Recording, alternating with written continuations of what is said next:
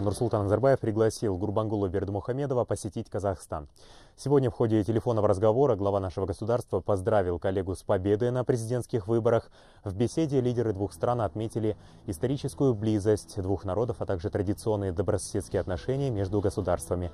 При этом была подчеркнута важность дальнейшего укрепления связей в политической, экономической, культурно-гуманитарной сферах.